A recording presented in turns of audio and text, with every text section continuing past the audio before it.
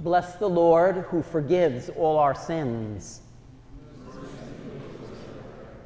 Let us pray. Almighty God, to you all hearts are open, all desires known, and from you no secrets are hid. Cleanse the thoughts of our hearts by the inspiration of your Holy Spirit, that we may perfectly love you and worthily magnify your holy name through Christ our Lord. Amen.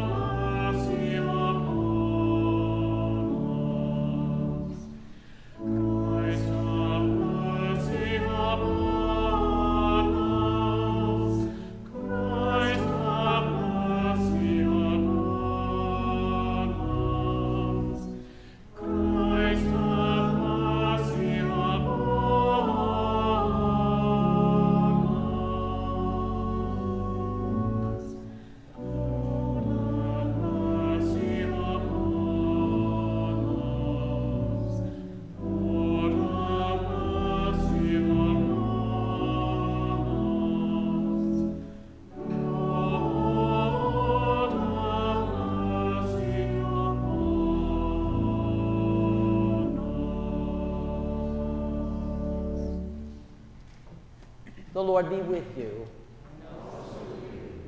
Let us pray. Almighty Father, whose dear Son, on the night before he suffered, instituted the sacrament of his body and blood, mercifully grant that we may receive it thankfully in remembrance of Jesus Christ our Lord, who in these holy mysteries gives us a pledge of eternal life and who now lives and reigns with you in the Holy Spirit, one God, forever and ever. Amen.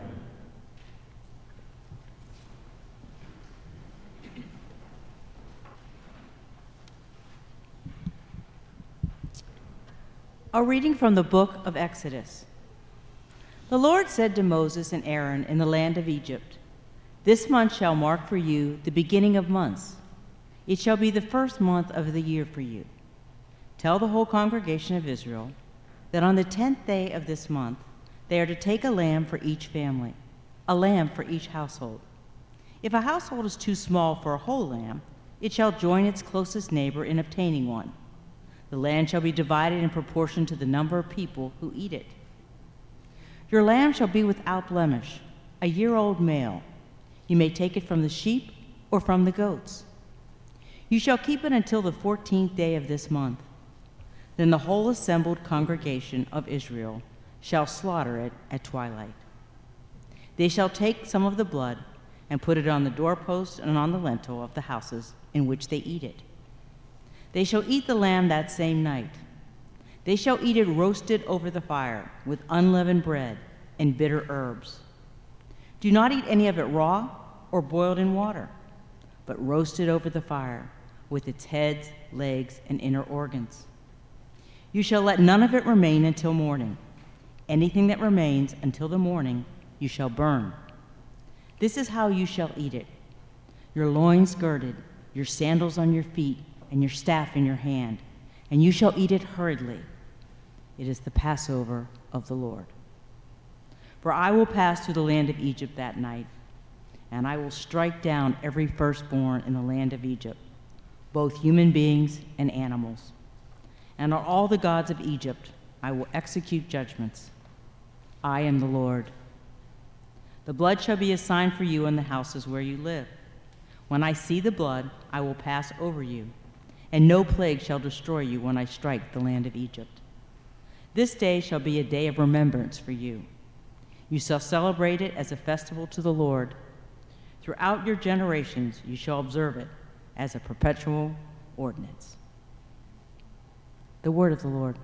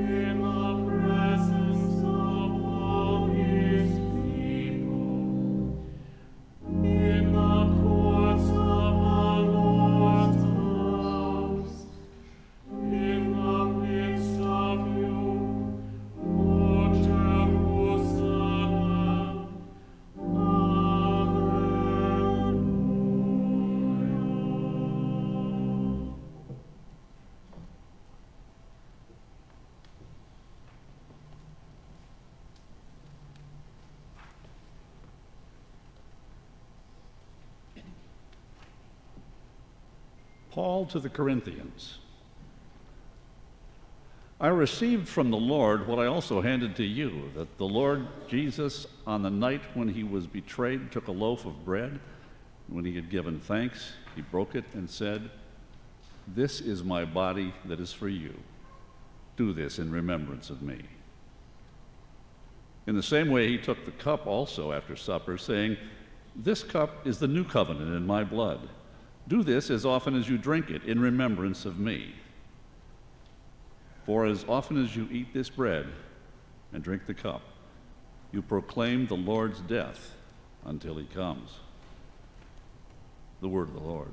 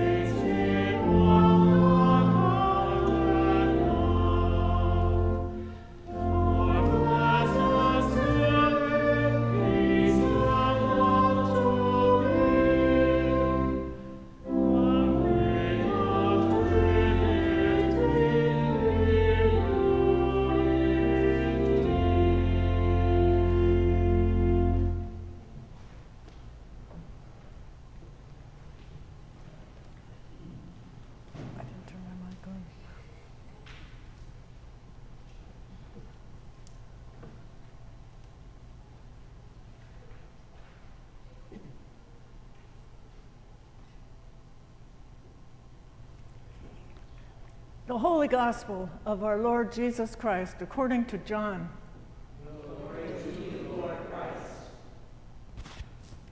Now, before the festival of the Passover, Jesus knew that his hour had come to depart from this world and go to the Father. Having loved his own who were in the world, he loved them to the end. The devil had already put it into the heart of Judas, son of Simon Iscariot, to betray him.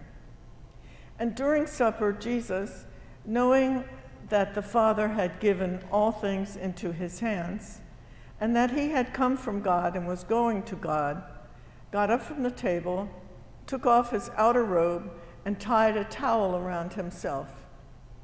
Then he poured water into a basin and began to wash the disciples' feet and to wipe them with the towel that was tied around him.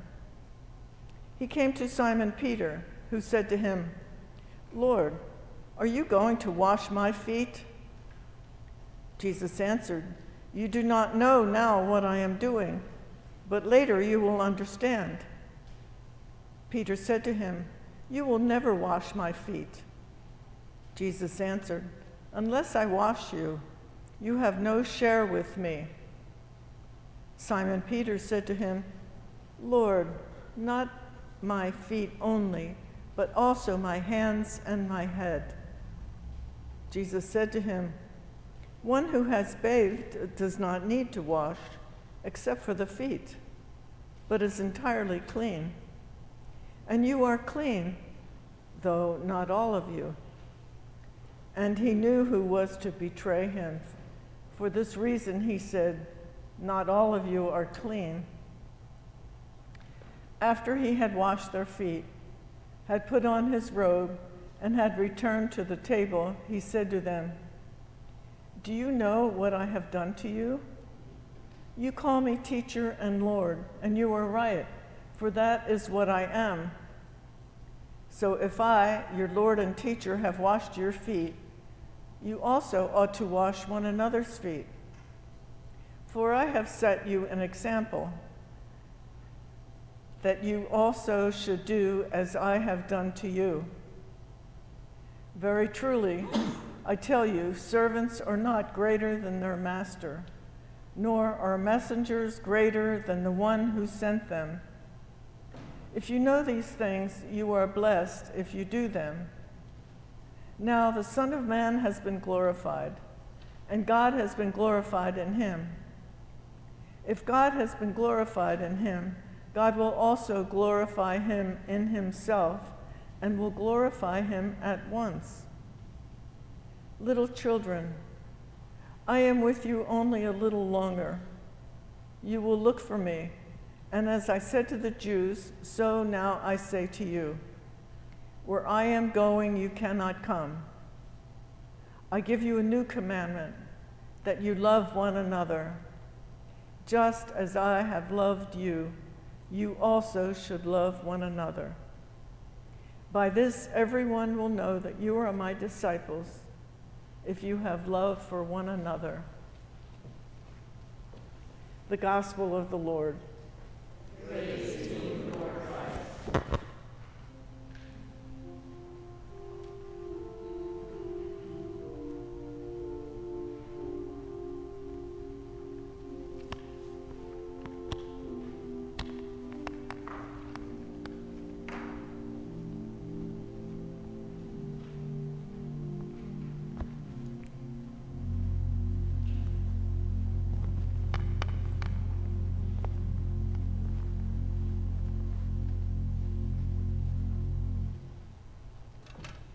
true communion.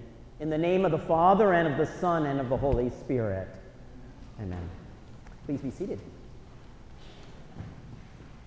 For those who were at the Palm Sunday service uh, this past Sunday, uh, I framed for all of us this Holy Week uh, in terms of a pilgrimage. Uh, this is our Holy Week, our Holy Pilgrimage Week. And I spoke about uh, what it means uh, to be a pilgrim. I've taken many pilgrimages uh, to the Holy Land, and uh, to be a pilgrim is to get outside oneself, to literally get outside of the normal routines and rhythms of your life, to get outside yourself in order to let God get inside yourself. Uh, the um, posture, the heart of a pilgrim is the heart that is rended, that is open, uh, that is yearning to say, God, I want to meet you. I want to encounter you. I want to know your love. Be present to me as I seek to be present to you. And so, with this heart of a pilgrim, uh, we find ourselves tonight as our pilgrimage stops uh, in the upper room with Jesus on his last night with his closest friends. And the atmosphere in this moment is one of intensity and intimacy. Uh, the intensity is around Jesus has been speaking about his pending betrayal, that he will be handed over, uh, that he will be killed, and on the third day rise again. And the disciples have heard this, and the confrontation with the authorities has been intensifying during this week of, of confrontation. And in the background of all this is the Seder dinner, and our Jewish friends tonight are literally celebrating the Passover Seder as we, as the Christian community, remember the Last Supper. And uh, so in the background is the intense remembrance of God's deliverance of God's people and the blood of the Lamb uh, being smeared on the lintels, uh, reminding Christians later on of the blood of the Lamb of God to be smeared on the cross. And amidst all this intensity, there's still intimacy. These are Jesus' closest friends. And the feeling is, as they gather for this evening meal and as the darkness begins to gather around them, they draw close, and Jesus has so much to tell them, so much to show them. And this is this last opportunity, this Last Supper, uh, to share this intimate meal and friendship uh, with his followers. And so, as we enter into this atmosphere of holy intensity and holy intimacy, we hear Jesus teaching and demonstrating to us the nature of true communion. Communion is a big word in our Christian tradition. And for me, communion has at its heart companionship with Christ and each other, servant love in response to Jesus' sacrificial love. So I want to talk about true communion. Let me start with companionship with Christ. The word companionship uh, literally means from its Latin roots, the come part means with. Companionship means breaking bread, fellowship around the table, with breaking bread together, companionship. And so tonight, Jesus is demonstrating companionship. Uh, but companionship is what God has always intended. Let's go back to the original blessing, the very first chapter where God created Adam and Eve. Uh, in the image of God, He created them. And He created them to share companionship with each other and with God as they walked together uh, in the Garden of Eden in, in, the cool of the evening breeze. Uh, that is God's original blessing and intention for us companionship with each other and with Christ. And Jesus tonight is making that companionship happen around the table.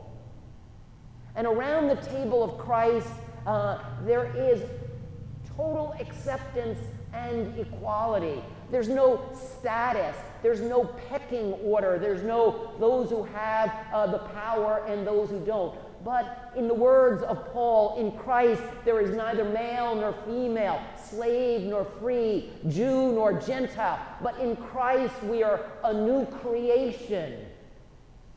And in this new creation, we are companions with each other and with Christ in a community of love, the beloved community of Christ.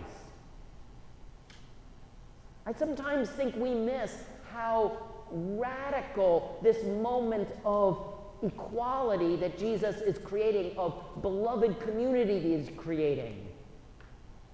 Uh, in this image of dining together, all barriers between us and God are broken down in the friendship and acceptance of the table.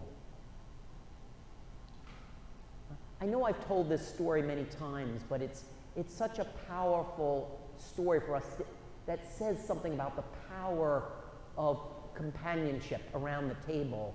But uh, in the Episcopal Church, we're all so, um, I think, I hope, duly proud, not um, falsely proud, of our great presiding bishop, Michael Curry. Uh, he's truly one of the great preachers of our time, and uh, we're so grateful that he belongs to us, but he belongs, of course, to the world. Uh, and uh, Michael Curry tells the story uh, so many times about how his family uh, became a part of the Anglican Episcopal tradition. His parents uh, were actually Baptists. And back in the 1950s, segregated America, um, they found themselves worshiping at an Episcopal church.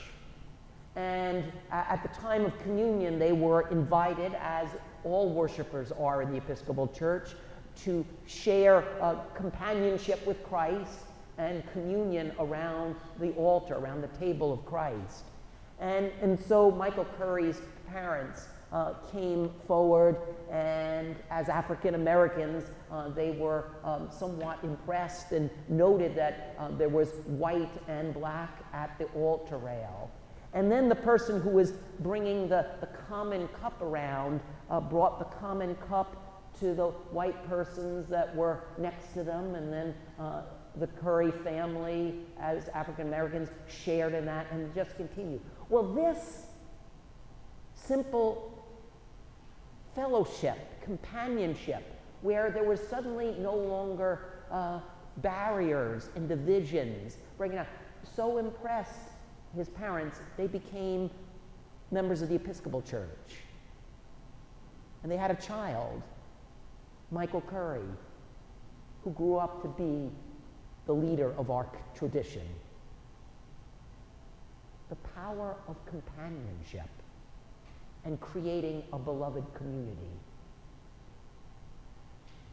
Now, this companionship with Christ and each other that is part of what Jesus is forming at this Last Supper and through our Eucharistic communion practice expresses itself not just in this moment where we gather for worship and bread and wine are served and we remember Jesus' words. It's meant to be how we live in the world. And how we live in the world, in other words, companionship with Christ and each other in action, is through servant love. And that's why, in the context of this Last Supper and the companionship around the table, Jesus does something equally radical. He takes off his outer robe he puts on a serving, a servant's towel, and he kneels down and he starts washing his followers' feet. The most menial task that the lowest house servant would normally be given in Jesus' world. And Peter, and thank God for Peter because he speaks the truth even when it's, you know, when he gets it wrong, he still speaks it. And he says, You know, Lord, no way. You know, you can't do this to me. Uh, he's speaking the truth of his culture, the truth of a sinful culture that says, hey, there's people on top and people on bottom. There's people who serve and there's people who get served. And let's not break that up. That's the way it's supposed to be. God ordained. Those on top, those on the bottom. Now, Jesus responds to Peter's words with equal honesty and strength. If you don't allow me to do this, you can't be a part of me. This is fundamental, Jesus is saying. In the beloved community of God that is forming and being formed in and through me, there is no pecking order. We are to be servants to one another and to the world. That is the way of love. That is the way of God. That is the Jesus way. And then Peter, again, thank God, he responds beautifully and he says, You know, Lord, wash not only my feet, but wash my head and my hands, my heart. he recognizes that to live this way, to live this servant love, it needs a, there's a transformation that is a whole life transformation. In baptism, we speak about that we are in Christ buried with him in his death. In his baptism, we share in his resurrection. Through it, we are reborn by the Holy Spirit. There is a new creation. And that new creation is part of a beloved community of love where companionship with Christ and each other and servanthood life and love to the world is who we are fundamentally, foundationally. Jesus is teaching us all of this. But he adds something even more to this. He adds that our servant love for each other is in response to and reflective of his love, his sacrificial love for us. At the end of all this, he says, I give you a new commandment love one another just as I have loved you. Love one another just as I let my example, my love be reflected in your servant love for each other. The love of Christ is the love of the Good Shepherd. That's all in. The Good Shepherd that lays down his life for the healing of the world. Lays down his life that a power in our lives the power of forgiveness, the power of new life, the power of love would be released and grow and happen. Love one another, just as I have loved you. And he calls us not to just remember this. Remembrance is a big word tonight. Jesus uses those words. Yeah, remember this. Do this in remembrance of me. But it's even deeper than just memory. He says, Take and eat this bread. This is my body. This is my sacrificial love. And you're invited to literally ingest it. And let it be instrumental in your life. Let it work its power in you, its grace in you. Drink this cup. And remember my life poured out for you. And let that love be taken in and be received into the very fiber of your being. Take, eat, drink. Do this in remembrance of me. That is true communion. It's the promise and the way of life of companionship with Christ in each other. That companionship expressed in our lives through servant love, in response to and enabled by the sacrificial love of Jesus that we literally taste tonight and works its power, the power of love in us. Thanks be to God. Amen.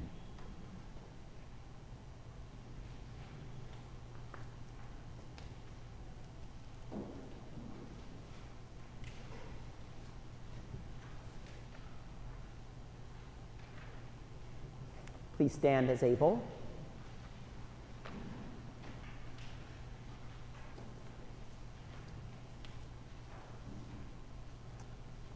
The Lord Jesus, after he had supped with his disciples and had washed their feet, said to them, Do you know what I, your Lord and Master, have done to you? I have given you an example that you should do as I have done.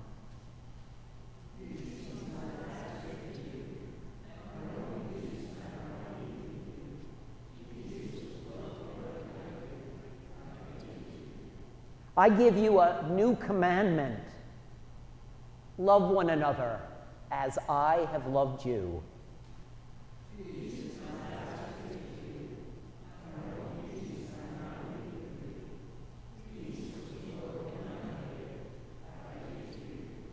By this, the world will know that you are my disciples, that you have love for one another. Let me just say a word of instruction now about the foot washing and anointing. Um, you'll be invited, those who wish, uh, to come forward. We have four stations for the washing of feet, and uh, you'll be invited to just as you come forward. We're not going to organize this that everyone goes this way. As a station opens, you're just welcome to fill right in. Um, you'll be invited to have your feet washed and then you'll be invited to remain at the station to then wash the next person's feet. And then that person will be invited to then wash the next person's feet. I, I think you'll, yeah, you understand how that flows. Uh, in addition, this year we thought we'd add an, uh, uh, uh an addition to this. Um, on this night, we sometimes remember Mary uh, of Bethany anointing Jesus' feet with perfume. Uh, and so, after getting your feet washed, if you wish to have a special anointing with oil, I'll be standing here uh, in the middle, and you can actually, maybe I'll, I'll, stand a little off to the side uh, and then offer anyone who wants a special anointing and blessing as, as well. I recognize that for many reasons, some people are not comfortable with having their feet washed. So there's no judgment tonight uh, if you choose not to have your feet washed, truly. Um, but I do invite you uh, to enter into, either literally or certainly spiritually, uh, into uh, this tradition uh, and this example, this way of living uh, that Jesus calls us to and enables us through the sacrament. Amen.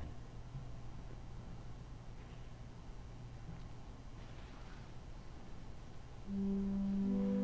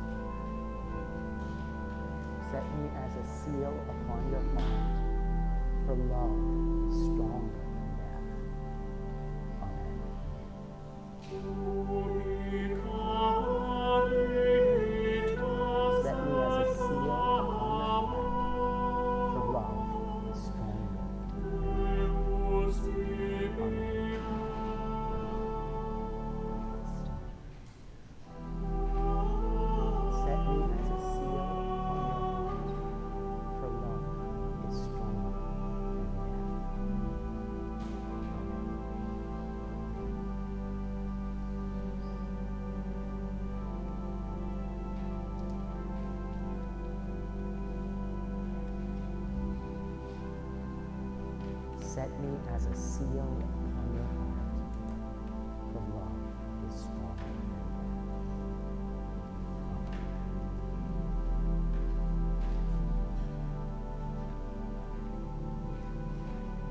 Set me as a seal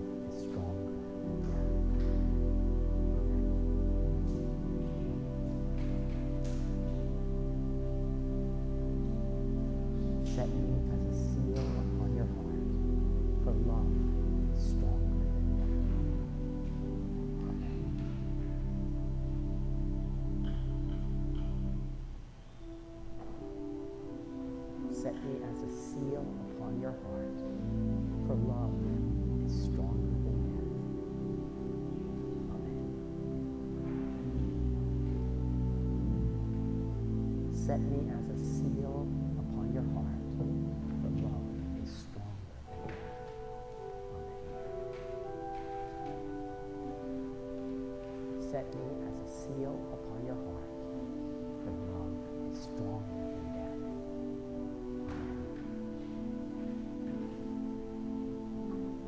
Set me as a seal upon your heart,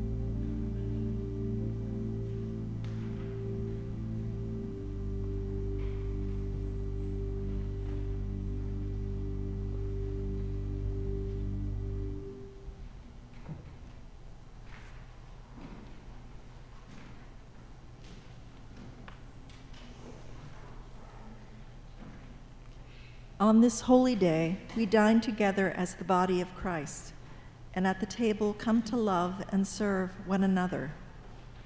On this holy day, then, let us pray for the church and the world, saying, Lord, in your mercy, Hear our prayer. For the whole church of God, that it may grow in unity and servanthood. Lord, in your mercy. Hear our prayer. For our congregation, that in these holy days we may grow in love for one another and for all people. Lord, in your mercy. Hear our prayer. For those who will be baptized during the Easter season, that they may rejoice in their passage through death into new life. Lord, in your mercy. Hear our prayer. For all the leaders and people of the world, that reconciliation and peace may overcome conflict and oppression. Lord, in your mercy. Hear our prayer. For the hungry in body or spirit, that they may be fed. Lord, in your mercy. Hear our prayer. For the sick and those in pain, for the lonely and the forgotten, for the dying and all who mourn, that they may know the full extent of God's love for them. Lord, in your mercy. Hear our prayer. And I invite at this time any intercessions you'd like to add, either silently or aloud. For Pamela, for David and Elias.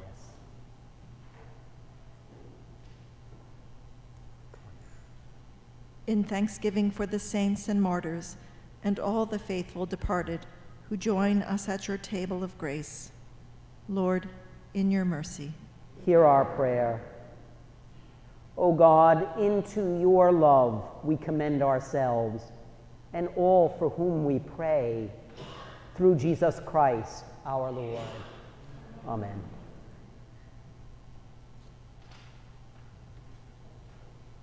Let us confess our sins against God and our neighbor. Most merciful, God, we confess that we have sinned against you in thought, word, and deed, by what we have done and by what we have left undone. We have not loved you with our whole heart. We have not loved our neighbors as ourselves. We are truly sorry and we humbly repent.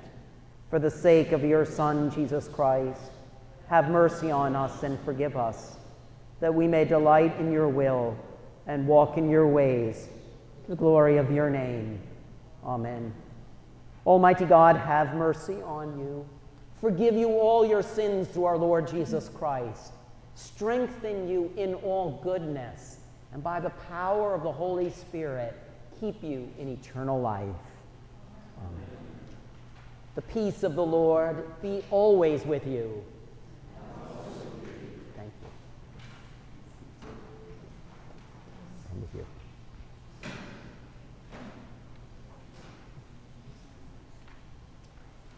Peace to all and welcome. Please be seated for just a moment and great to be together with you tonight. Uh, welcome to our online worshipers as well. We're delighted you're here uh, sharing this Maundy, Thursday, this mandate Thursday, this new commandment love one another as I have loved you Thursday together. Blessings to all. Um, just a few brief announcements. One is to say that uh, the pilgrimage continues tomorrow. Uh, we move as pilgrims from the Last Supper in the upper room where we find ourselves tonight to tomorrow where we walk with Jesus uh, the final three hours of his life and end up on Mount Calvary uh, and remember uh, in the shadow of the cross uh, those words that he speaks, the actions that happen, the prayers that are said. Um, so I invite you to join us from 12 to 3 tomorrow, those who can come during the day for that pilgrimage.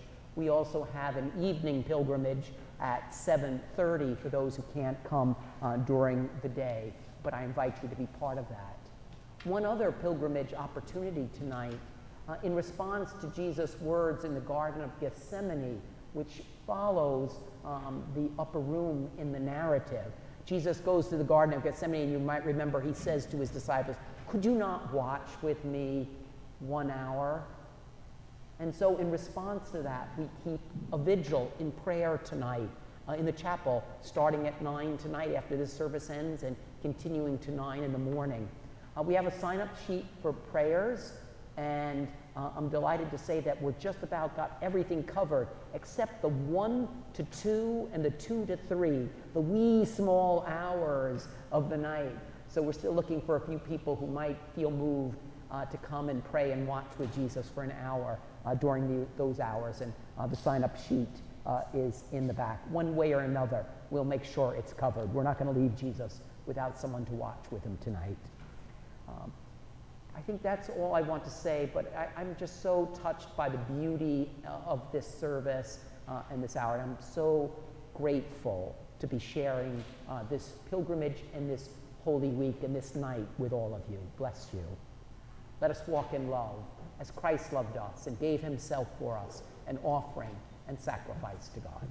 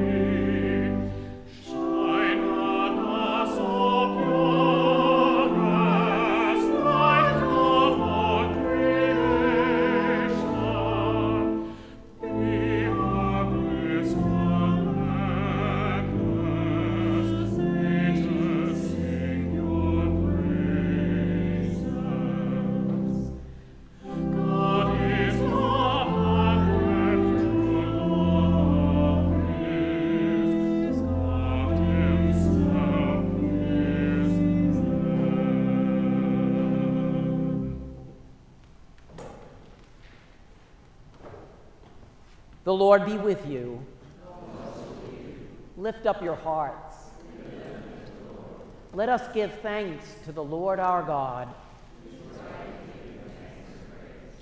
It is right and a good and joyful thing, always and everywhere to give thanks to you, Father Almighty, creator of heaven and earth, through Jesus Christ our Lord.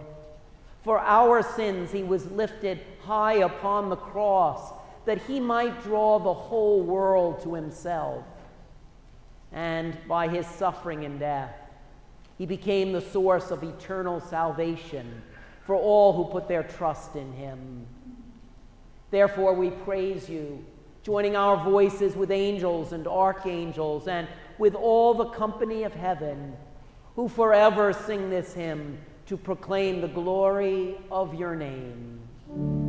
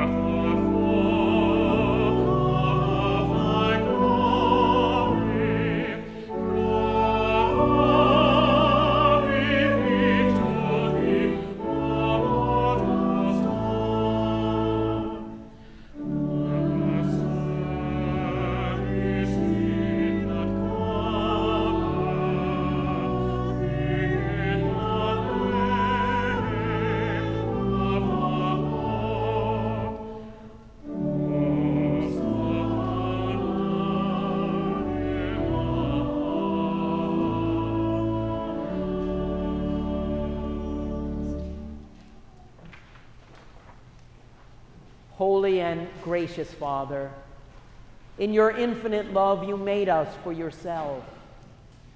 And when we had fallen into sin and become subject to evil and death, you, in your mercy, sent Jesus Christ, your only and eternal Son, to share our human nature, to live and die as one of us, to reconcile us to you the God and Father of all. He stretched out his arms upon the cross and offered himself in obedience to your will, a perfect sacrifice for the whole world.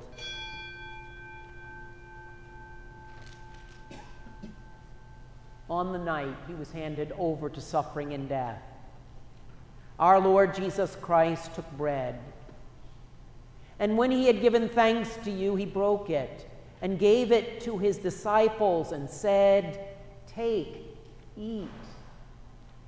This is my body, which is given for you. Do this for the remembrance of me.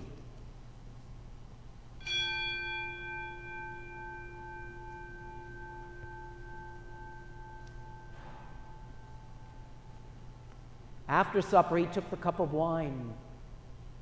And when he had given thanks, he gave it to them and said, Drink this, all of you. This is my blood of the new covenant, which is shed for you and for all for the forgiveness of sins. Whenever you drink it, do this for the remembrance of me.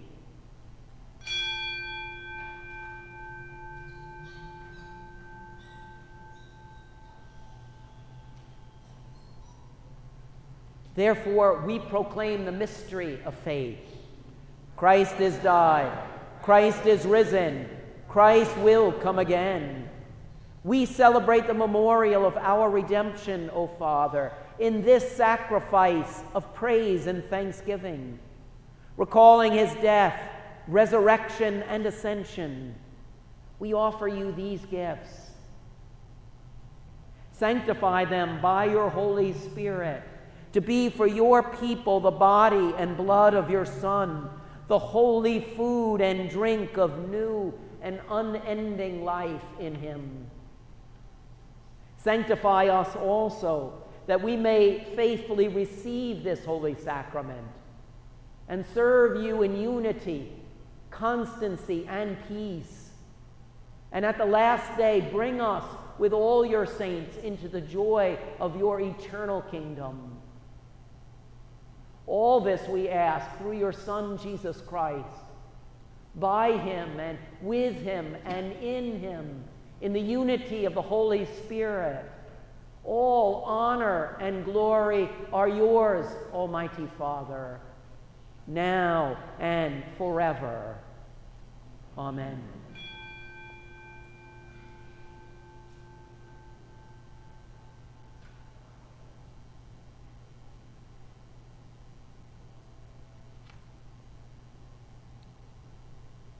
And now, as our Savior Christ has taught us, we are bold to say, Our Father, who art in heaven, hallowed be thy name.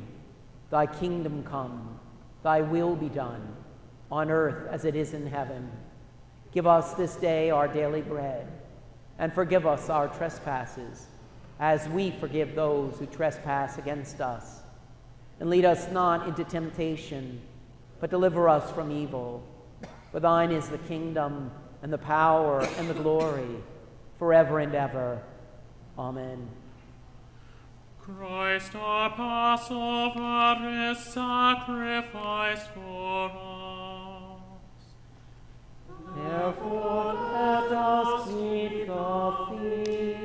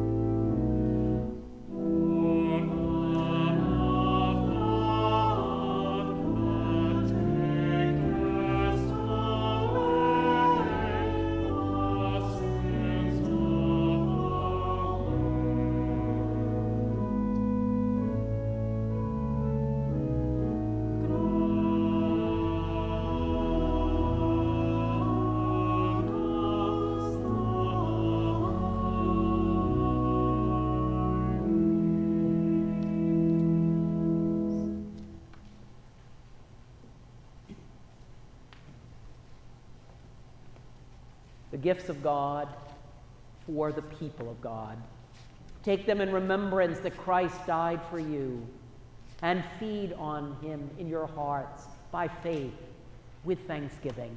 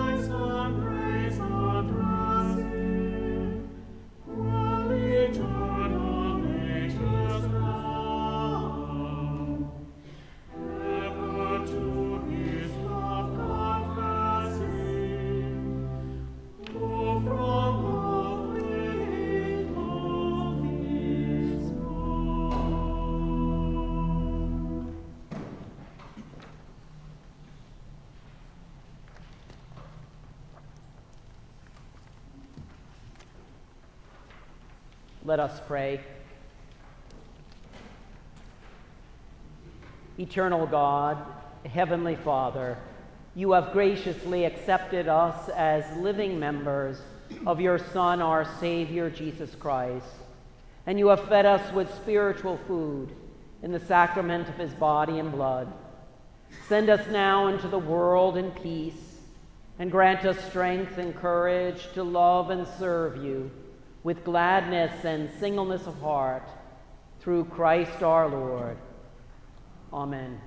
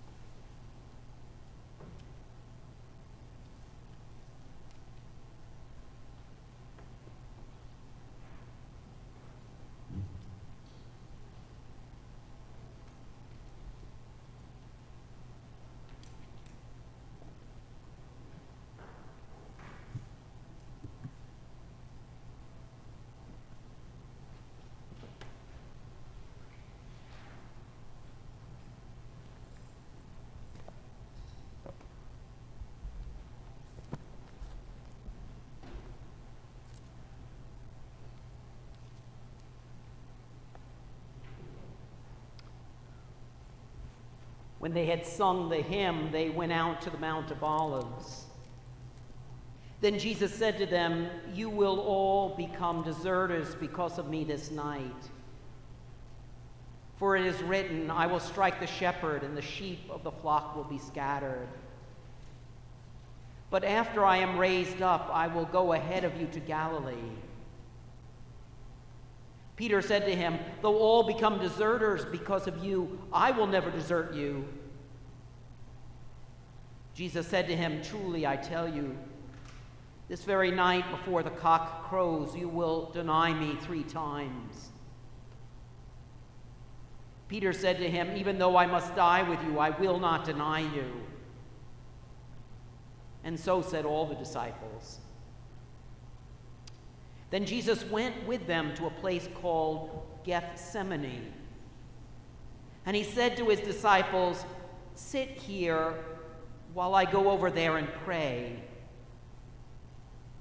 He took with him Peter and the two sons of Zebedee, and they began to be grieved and agitated. And he said to them, I am deeply grieved, even to death. Remain here and stay awake with me. And going a little farther, he threw himself on the ground and prayed, My Father, if it is possible, let this cup pass from me. Yet not what I want, but what you want. Then he came to the disciples and found them sleeping. And he said to Peter, So, could you not stay awake with me one hour? Stay awake and pray that you may not come into the time of trial. The spirit indeed is willing, the flesh is weak. Again, he went away for the second time and prayed, My Father, if this cannot pass unless I drink it, your will be done. Again, he came and found them sleeping, for their eyes were heavy. So, leaving them again, he went away and prayed for the third time, saying the same words. Then he came to the disciples and said to them, Are you still sleeping and taking your rest? See, the hour is at hand, and the Son of Man is betrayed into the hands of sinners. Get up. Let us be going. See, my betrayer is at hand.